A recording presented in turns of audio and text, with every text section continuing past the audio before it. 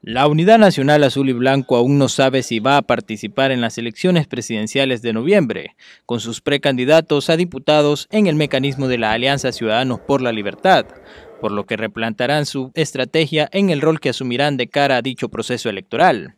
Y yo creo que hay que, replantearse ciertos conceptos. El participar de un proceso no implica llevar candidatos. O sea, la unidad nacional debe asumir y debe discutir qué otros roles dentro de este proceso eh, va a jugar, porque la denuncia internacional es un rol, el monitoreo es un rol, la fiscalización es un rol. No necesariamente nosotros tenemos que eh, llevar candidatos para decir que vamos a tener un rol en este proceso. La participación de la Unidad Nacional Azul y Blanco en los comicios quedó en el limbo, luego que su aspirante a la presidencia, Félix Maradiaga, fuera detenido por las autoridades. Violeta Granera, Tamara Dávila, Ana Margarita Vigil y Suyen Barahona, todas activistas de la Unidad Nacional Azul y Blanco y que aspiraban a diputaciones, también están detenidas.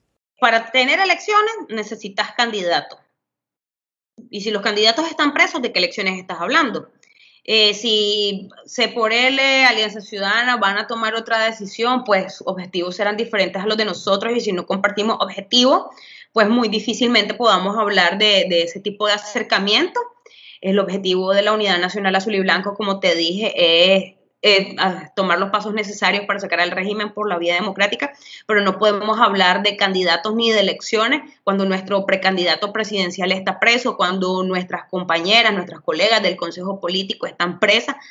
Max Jerez, integrante de la Alianza Ciudadanos por la Libertad, aseguró que con la Directiva Nacional de la UNAD no se han reunido, pero sí existen acercamientos con sus estructuras a nivel municipal, en busca de la construcción del tendido electoral de la oposición. El acercamiento que nosotros hemos tenido es más a nivel local, eh, pues no hemos tenido, eh, no hemos retomado las conversaciones con los liderazgos nacionales, pero a nivel local sí te puedo decir que la gente se está sumando al esfuerzo eh, con la Alianza Ciudadana. Hay varios esfuerzos conjuntos de que las personas que nosotros conocemos de la UNAP y de estas organizaciones se están sumando algunas bases del PLC, algunos miembros de la UNAP y otras organizaciones que pertenecían a la coalición nacional se están acercando para construir esta unidad que, que es local, pues, en esta, en esta medida.